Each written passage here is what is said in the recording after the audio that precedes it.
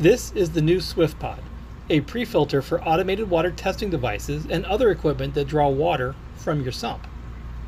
Let's set up the SwiftPod for use with automated water testing devices such as your Neptune Trident. For the Trident, you're going to use the 1mm hose barb to attach to the sample line. Carefully install the sample line to the end of the hose barb. Make sure that the hose is secure. Then insert the adapter into the end of the 90 degree elbow quick connect. At this point you'll want to unscrew the cap to locate the air bypass port.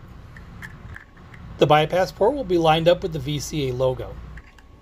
With the cap slightly unscrewed, to reveal the bypass port, go ahead and place the SwiftPod under the water, allowing the air to escape. Once all the air has been expelled, you can screw the lid on tight. At this point, the swift pod should just sink to the bottom.